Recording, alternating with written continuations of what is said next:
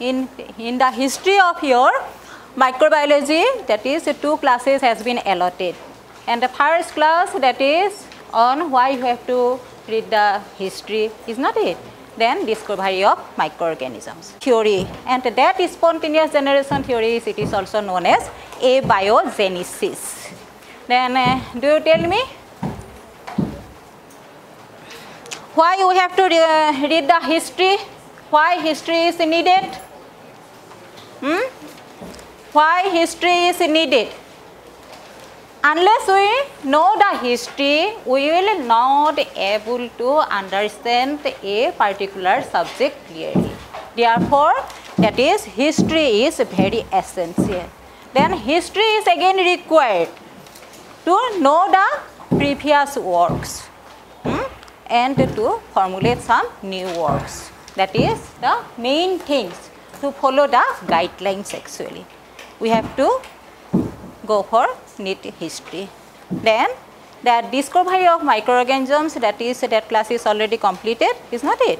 Today we will go for spontaneous generation theory.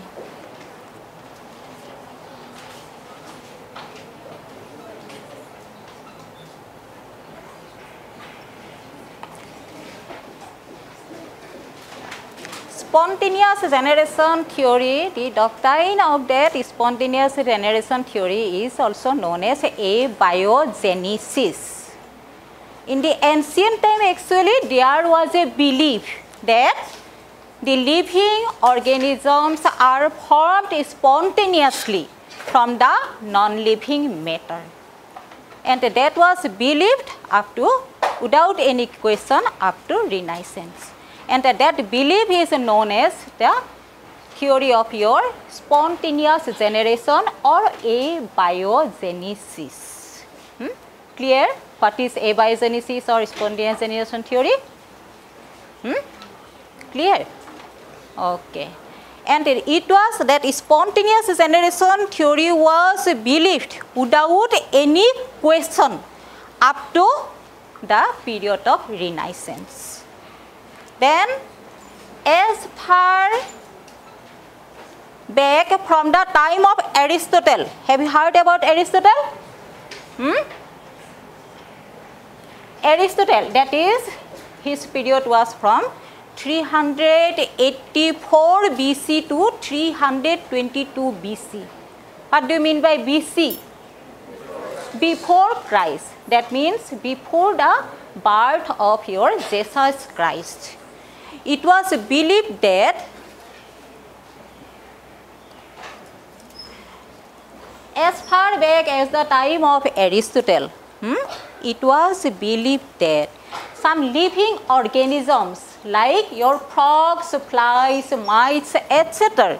were originated from the spontaneously from the fertile mud, then from the rotten materials and also from the rains. That means the living organisms are formed spontaneously from these things. Hmm? Then this was believed, this uh, spontaneous generation theory was continued up to 17th century.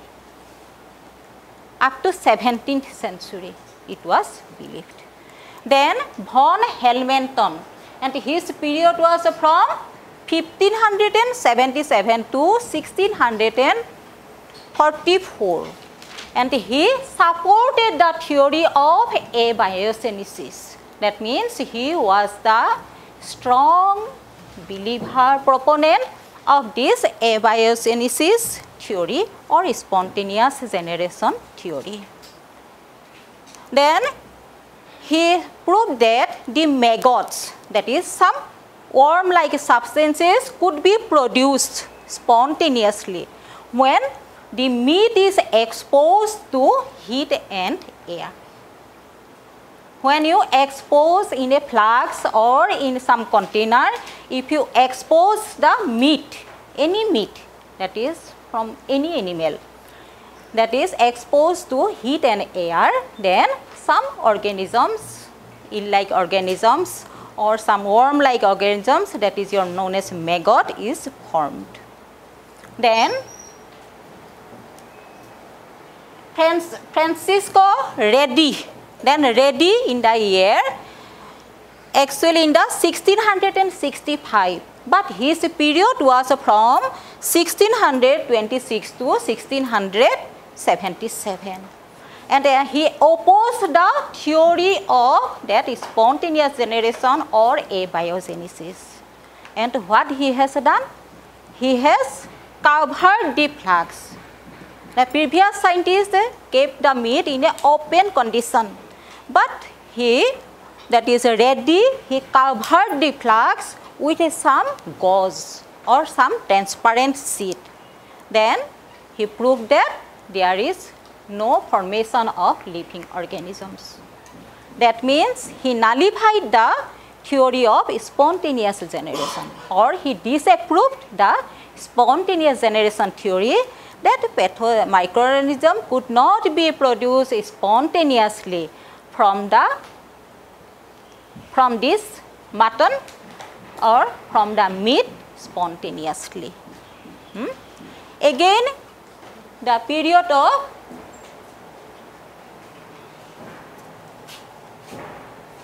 then John Needham come. Have you heard about Needham? Hmm? Needham actually he was a nematologist. He discovered the nematode. Nematode, have you heard about nematode?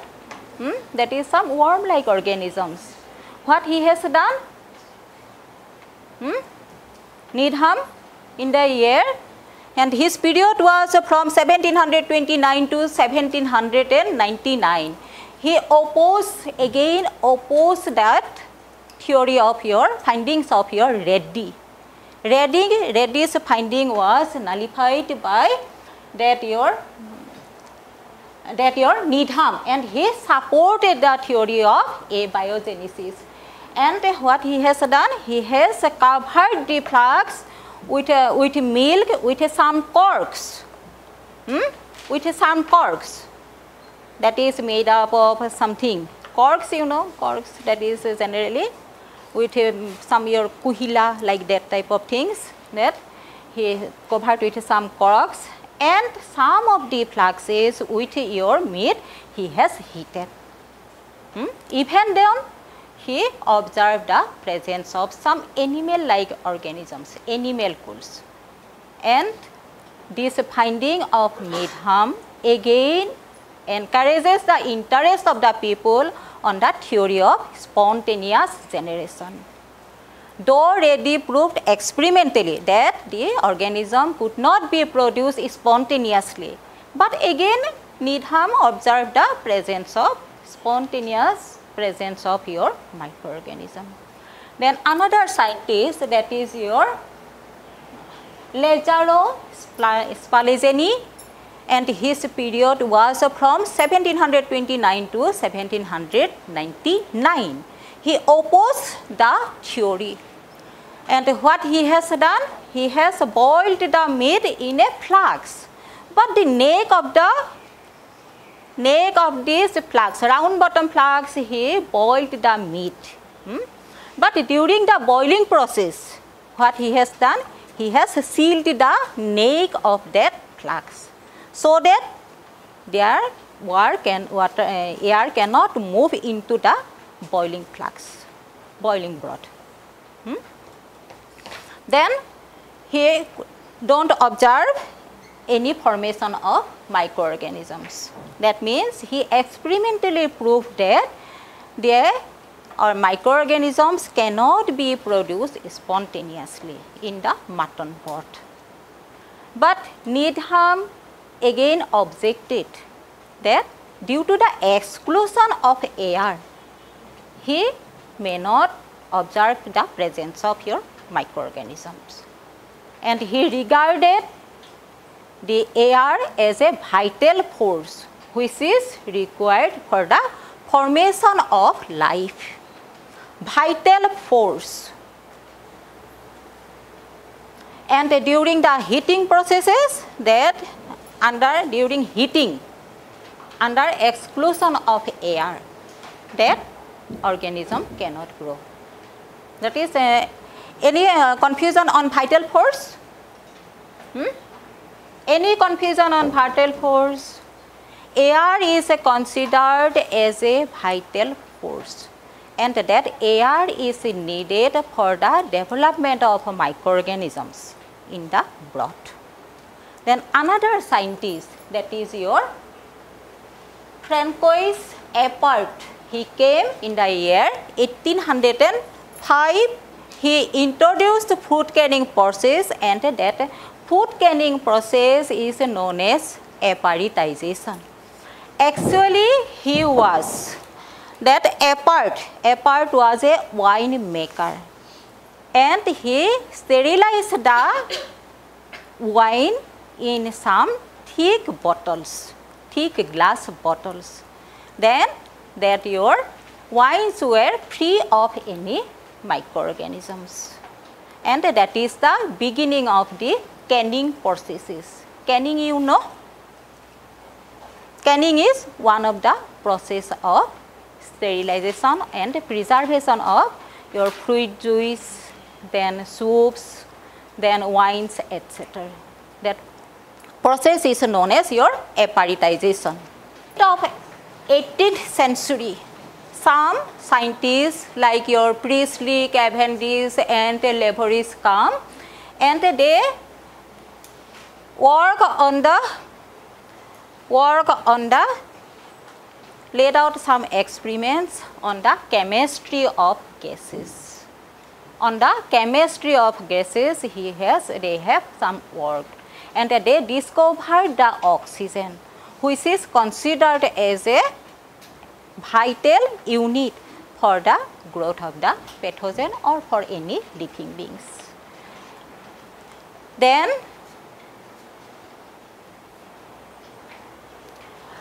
Schulze and his period was from 1815 to 1817.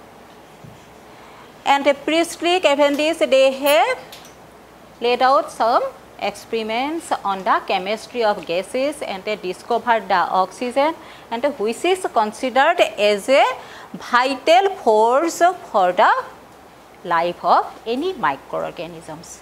Then Franzi Schulze in the year, it, his period was from 1815 to 1875 and he, they, he has admitted air that is a vital force. Vital, air is considered as a vital force for the growth of microorganisms, is not it? By several scientists, that is by Needham and by Priestley and by Schulze and he admitted air, allowed the passage of air through the boiling broth of the meat. Then after the, but he has treated the broth with some chemicals that is with the sulfuric acid and the caustic potash. First he has treated the broth with some sulfuric acid and caustic potash then he allowed our air to passes through that heated broth and he don't observe any spontaneous occurrence of your microorganism. That means he, he disproved the theory of spontaneous generation. Thus several works has been done to disprove the spontaneous generation theory.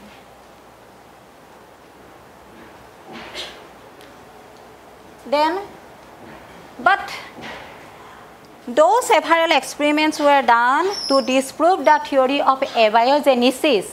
But the people of that time don't believe that because and Needham also, they don't believe that because of the some treatments, though air is allowed to pass through the broth organism, microorganisms don't involve spontaneously due to some treatments only.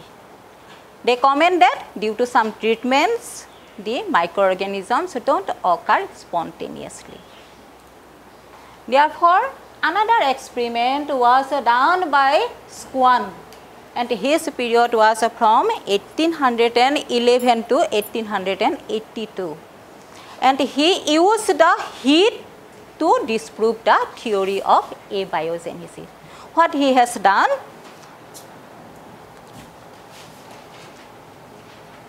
He has conducted one experiment.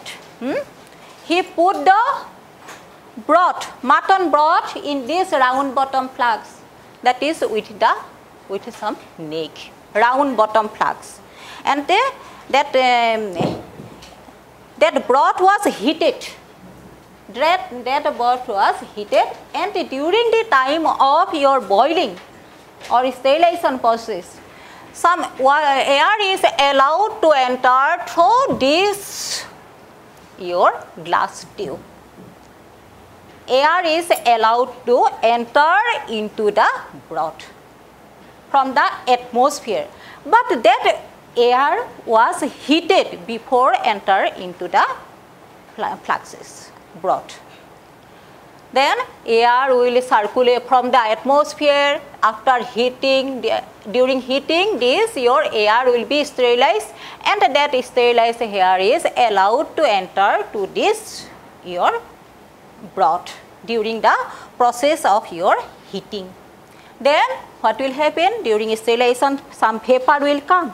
Is not it? Hot vapor will come and that hot vapor will comes out through this exhaust pipe, exhaust pipe in that flux and it is accumulated as water.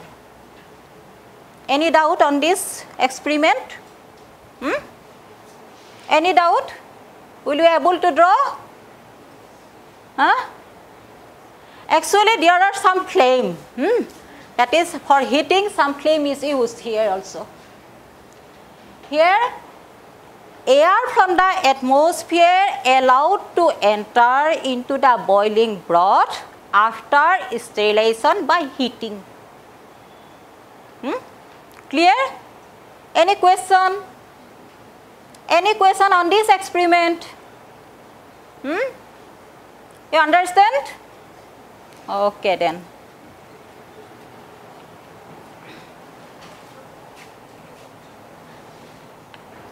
Then another scientist that is Schroeder and Dawes in the year 1952. Actually, he conducted the same experiment as done by Schwann, but he has used some cotton plug in the glass tube through which air is moved. That is the experiments of von Dawes and what he has done.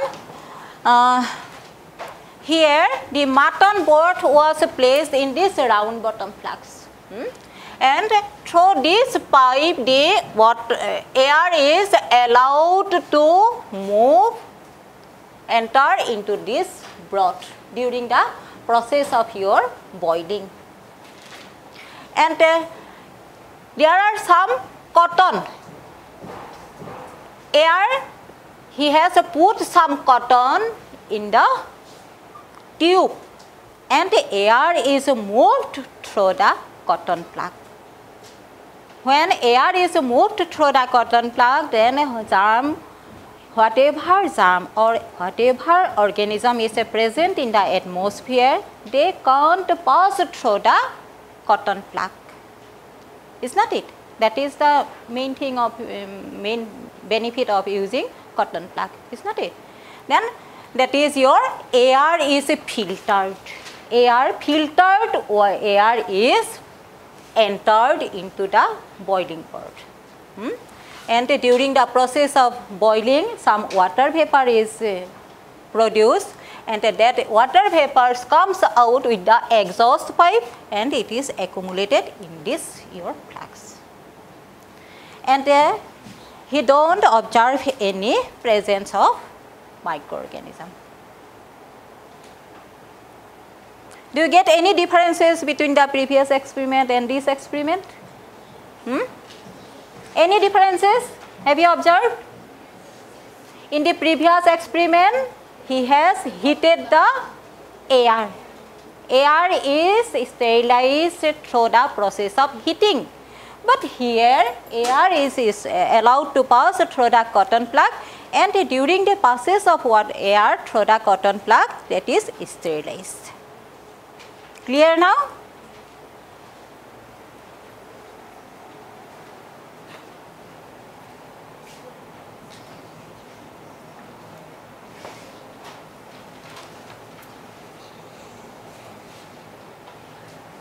Then John Y. Tyndall actually he was an English physicist. English physicist he was.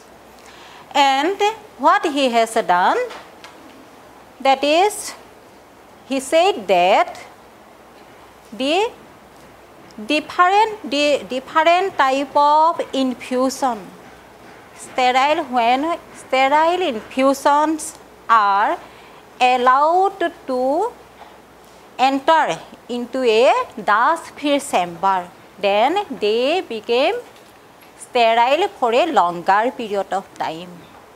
Even though air is allowed to move in that chamber. Hmm? even though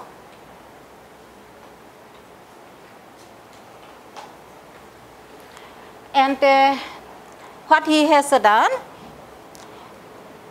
and his uh, theory is known as your introduced the process of Tyndallization that is the intermittent heating and cooling to preserve the food material. And according to him that is the organism that is that may cause any infection are present in the air. The microorganisms are present in the air. Then different type of infusion they are they require different level of heating for sterilization. And in general in a vegetative in general in different type of infusion it requires different heating for sterilization. I have already mentioned is not it? Then according to him any infusions that contains two different part one is known as your heat labile part that is known also known as your vegetative part and the another part is known as your hmm, heat resistant that is the endospore. And that endospores generally after cooling they form the vegetative structure or labile structure then they may cause infection to the food materials or anything. Hmm? Therefore, what he has done, the Tyndall, he first he, he was able to sterile some material by the process of this process and but he failed to sterilize the hay in a single heating Therefore, what he has done, he has heated any vegetable infusion, any infusion hmm, for about some time. Sometimes first he has um, given the heating, then it is allowed to cool for some time. Then again that material is heated, then again it is allowed to cool. That process is repeated for several times. And uh, during that process, what will happen?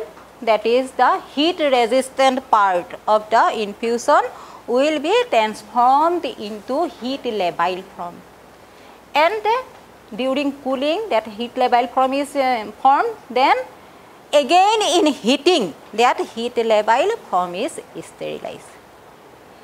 That process is if done for several time that is uh, heating and cooling, heating and cooling that is repeated heating and cooling.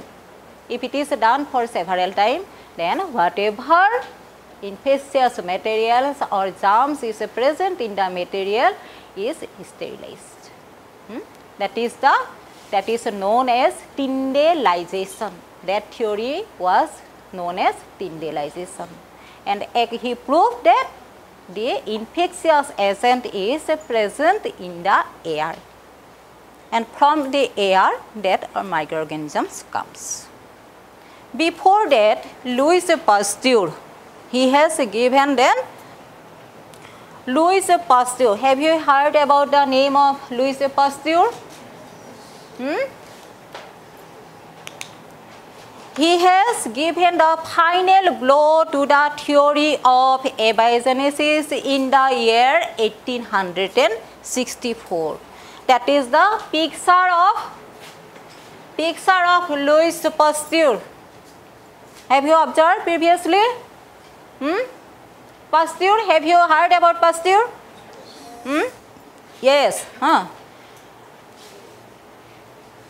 He demonstrated to disprove the theory of abiogenesis, he, what he has done, he has conducted one experiment. And that experiment was known as swan neck experiment. Swan neck experiment and what he has done, he has prepared one specialized flask, one specialized flask with a very long, narrow goose-like opening that is the that is the flask he has prepared. That is with a long goose like opening. And that experiment was known as Pasteur's goose neck experiment and the flask is known as Pasteur's goose neck flask and what he has done he has put the broth, sterile broth here. And he has heated the broth, heated the broth. And during the process of heating this water air is allowed to enter through this your long neck. And whatever warm heat water vapor is produced that also goes out through this tip. That is his experiment is just like in kettle. We are preparing our tea in kettle, is not it? Hmm? There is only one outlet and through that outlet, through that pipe, through this glass pipe, water can move inside or it may go, water vapor may go outside. And during this process, what will happen? Whatever germ present in the air, they will be accumulated here. Hmm? Accumulated here. That means only your filtered air is entered here. Hmm? And in this experiment, in the sterile broth of mutton, he don't observe any occurrence of microorganism because whatever your microorganisms or germs present in the air, they are accumulated in the long neck. Hmm? And he disproved the theory of abiogenesis. And he confirmed that water uh, air is essential for the growth of microorganism. And uh, what he has done? He has actually wine, wine, you know, wine. He has through this process actually he has also sterile the wine, mutton broth, wine, soups, etc. So many things you can sterilize. And uh, Louis Pasteur, he has actually uh, heated the these things up to 50 to 56 degree centigrade. He has heated the broth or any liquid from 50 to 56 degree centigrade for some time. For few minutes. For sometimes that is your few minutes. Then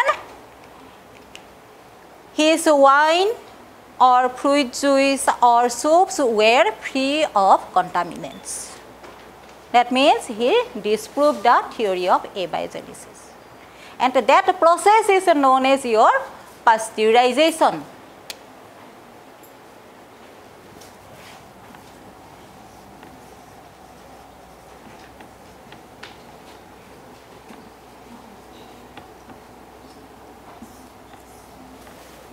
Now what is pasteurization?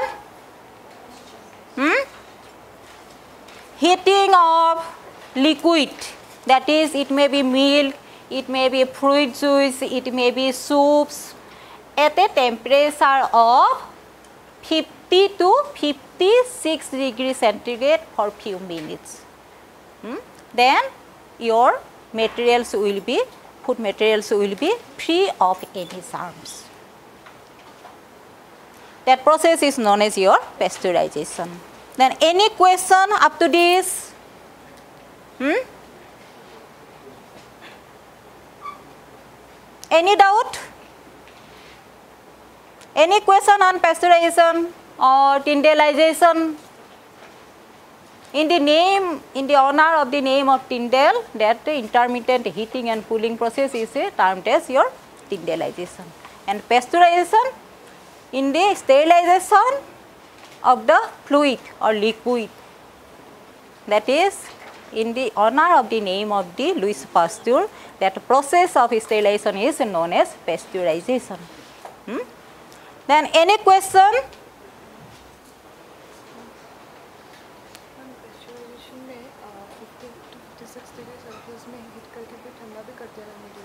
No, no. That is after 50 to 50, that is actually heating is done from for few minutes that materials milk. Generally, milk is sterilized through the process of pasteurization. That is, it is allowed to heat for few minutes at 50 to 56 degree centigrade. Then it is allowed to cool automatically, naturally. Actually, your today's class is only on your spontaneous generation.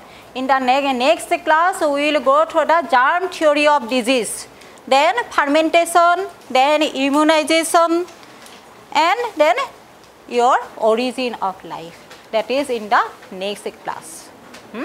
Part, mm. labile part, mm. it will become infectious or the vegetative part itself it is infectious? Vegetative part is generally more infectious than the, your resistant one. Resistant means it, it is uh, that resistance it will is required to destroy the different form of microorganisms.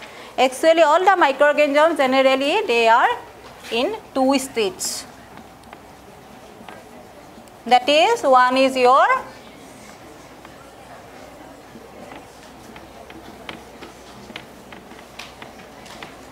vegetative stage that is your heat labile. Heat labile stage and another is your endospore state or heat resistant.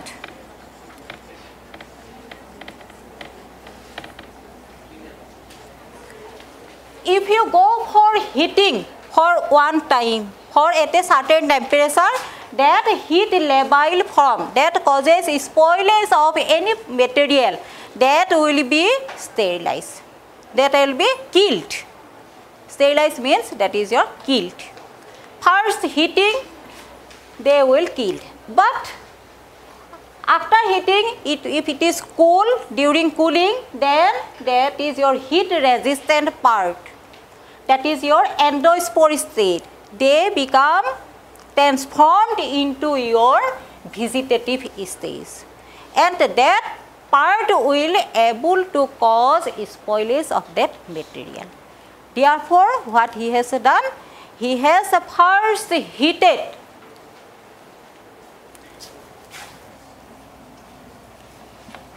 heated then it is cooled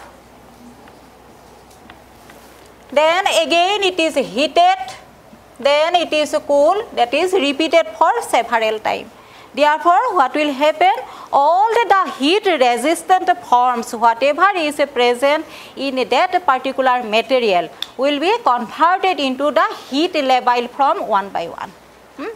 Heat labile forms into several stages and ultimately they will be sterilized or they will be killed and that is the main effect of tyndallization. Now clear? Okay. Then? Then get converted on heating or, or on cooling? On cooling. On cooling it will Yeah. That heat resistant form is converted into vegetative stage during the process of cooling. Then again if you go for heating, then during that process of heating, that vegetative only, you try to remember one point, that is only the vegetative stage, that is heat labile stage is sterilized, killed. Hmm? Therefore, that is converted one by one. Clear now? Then any question? Hmm? Swan lake experiment?